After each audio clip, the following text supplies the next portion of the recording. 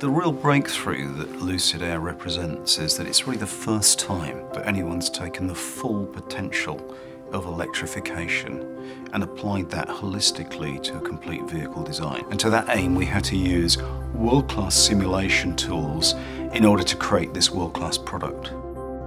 Lucid Air is going to take electrification to a whole new level. People are not expecting this.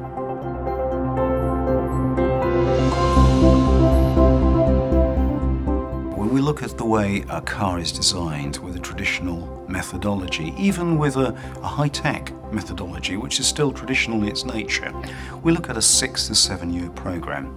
Here at Lucid, we've compressed that program to three years, and we've done that largely through a simulation, great people, great engineers, but using great equipment and great tools. I'm a proponent of making that physical prototype late.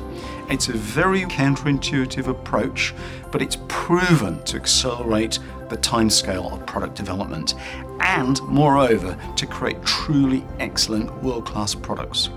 And the reason we can do that is because we have great confidence in the fidelity, the virtuosity of our computer models. That way we can run virtual prototypes at many, many times over. And we can learn so much more from a computer prototype than a physical prototype.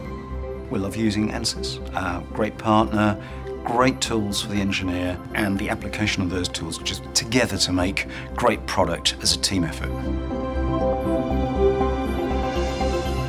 We're able to make Lucid Air work with a very small team, a very dynamic and dedicated team. A large proportion of that team is engaged in simulation.